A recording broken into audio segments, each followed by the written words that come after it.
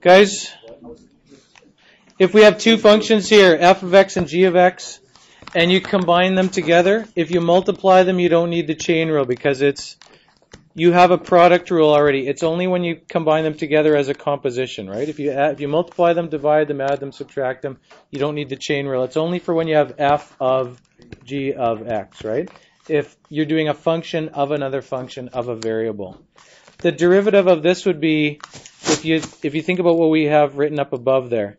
It's the outer function, right? It's this is going to be the derivative of f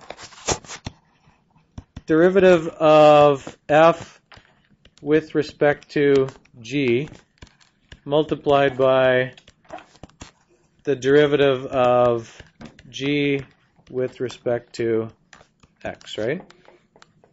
So it's this as a as a derivative of that and this derivative of that, that gives you the whole overall thing.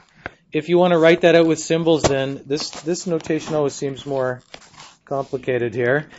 This is f prime g of x. I'm leaving g of x inside there because that's the variable when you look at the outer function. Times g prime of x. It's not f prime of x times g prime of x because that would be saying this is what you're looking for, right? Okay? If you want if you want the derivative of the whole thing, if you want this I don't know what you're going to do here other than do this. The derivative of that. okay, the derivative of that is equal to f prime of g of x times g of x. The way that they do that in the book is instead of doing brackets like that, they say if they give another letter, they say if h equals that composition, then h prime is that. That's the chain rule written with that type of notation. If if it's written with the other notation, it looks nice and easy because you can just, I mean, it looks like ratios. It looks like you can cancel things, right? I mean, I think when I first saw this, I thought, well, that's pretty obvious. You know, you just do that. It's more than that, but maybe if that's a way of remembering it, I don't know. If you had a composition of three functions, if you had a composition of three functions, it's going to be the same type of idea, right? If you if you say that, I don't know, use something else here. I don't know. H of G of F of X. Okay? It's a combination of three things. Well, you could do, I know you, oh, you can't make some space there somewhere? You can write it somewhere. The derivative of this would be B prime is, well, this is going to be ugly writing out this way, but I don't know.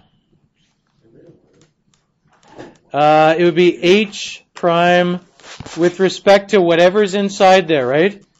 G, F, X, right? And then it's going to be times G prime with whatever's inside of that function. F of X, and then it would be times f prime of x. If you had something that said h was a function of g, h is a function of g, and g is a function of f, and f is a function of x, you'd have that the overall derivative is h dh dg dg df df dx.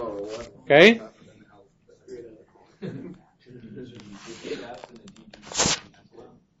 Well, it's this one related to that one, and it's that one related to that one, and then it's how that's related to X.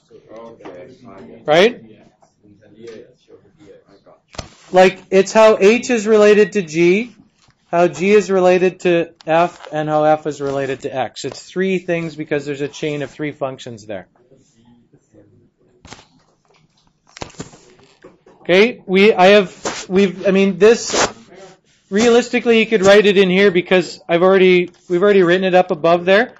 If you have y is a function of u, being careful with f as a function of u.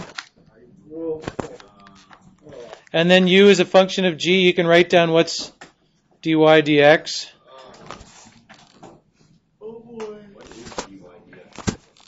What is dy dx? Derivative y with respect to x. It's dy du times du dx. Or if you're using the other kind of notation here, you would say it's f prime with respect to u times g prime with respect to x.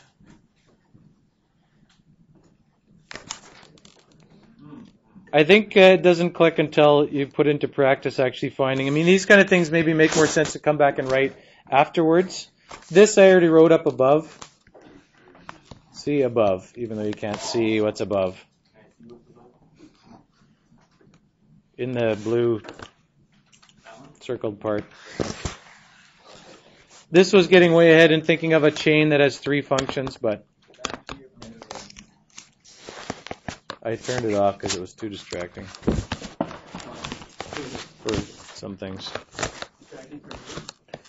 No, because it was uh, when you went to point at things, it was on the side, it wasn't in the middle, and and then the, the high, I changed it to the highlighted thing, and that was it. Well, not really. I think you guys were more excited than I was. Okay. You gonna. You thought I was going to get a dinosaur. Okay, here. So here's your first attempt at using the chain rule. If I asked you to find the derivative of this before you know the chain rule, your only choice is to do this, right? Expand it out, multiply it out, which is which is not that difficult. If it said 3x squared plus 1 to the 20th power, that would be difficult, and you don't want to do that. Okay?